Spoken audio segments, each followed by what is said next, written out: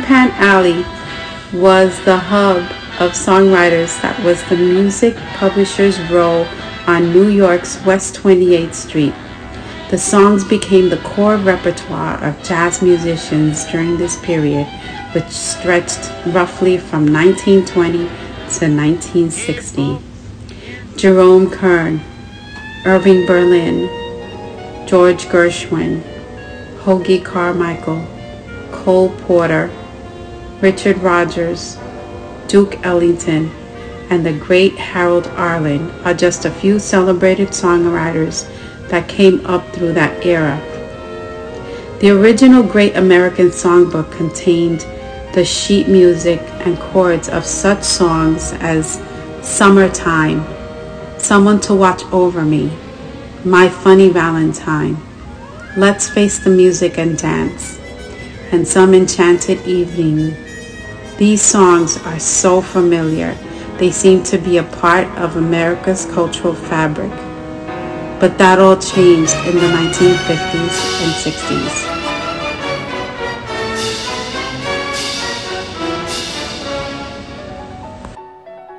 Bill Haley and his Comets. One, two, three o'clock, four o'clock, rock. Five, six, seven o'clock, eight o'clock, rock. Nine, ten, eleven o'clock, twelve o'clock, rock. We're gonna rock around the clock tonight. What candy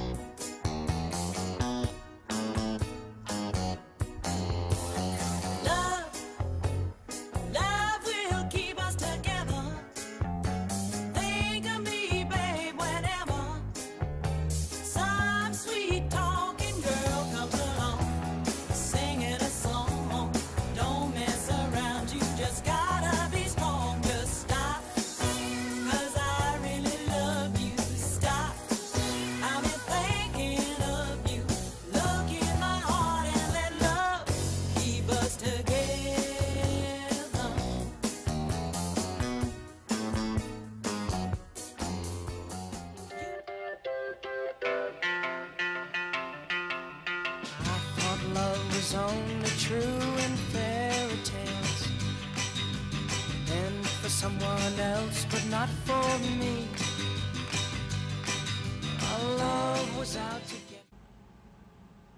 The Brill Building contained 165 music businesses where a musician could find a publisher, a printer, cut a demo, promote the record, and cut a deal with a radio promoter all within one building.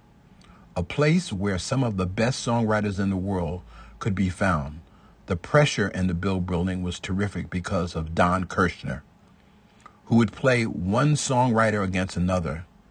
The man with the golden ear was probably the most influential person in all music's history. Don Kirshner was responsible for discovering new talents like Bobby Darin, Connie Francis, the Coasters, and B.J. Thomas. His sense of what works in music brought him into television. He was a musical supervisor and consultant for such great shows like Gidget, starring Sally Fields, The Monkees, Bewitched, I Dream of Jeannie, as well as musical consultant on two Saturday morning cartoon shows, The Archies and the Harlem Globetrotters. But his most significant success is when he produced and hosted Don Kirshner's rock concert, where he successfully brought into America's living rooms the music culture of the era. Don Kirshner not only had a brilliant career, but had such an insight in contributing and helping to create what is known as the Great New American Songbook.